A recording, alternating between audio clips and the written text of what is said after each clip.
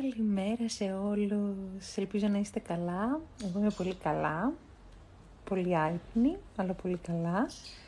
Ε, βλέπω τώρα τα μηνύματά σας στο τελευταίο βίντεο και θέλω να απαντήσω σε πολύ πολύ σημαντικές ερωτήσεις.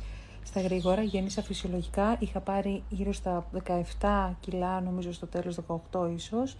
Έχω χάσει ήδη τα 7-8. Ε, η κοιλιά μου μάζεψε αμέσως μόνη της και θέλω να μου πείτε, επειδή μου γράφετε όλες τι φοράω για να μαζέψει κοιλιά, δεν το γνωρίζω. Υπάρχει κάτι που μπορώ να βάζω, ας πούμε, για να την κρατάει, που είναι ειδικό για λεχόνες; Για στείλτε μου ένα μηνύματάκι εδώ να με ενημερώσετε εσείς που ξέρετε. Και εύχομαι με το καλό σε όλες τις μανούλες που γεννάνε αυτές τις μέρες, υπομονή, ξέρω, με τη ζέστη τα πρεξίματα πρέπει να είναι αδιανόητα, και εύχομαι με κανένα πόνο, γιατί εγώ σχεδόν το έζησα, το με κανένα πόνο και υπάρχει. Σας το εύχομαι.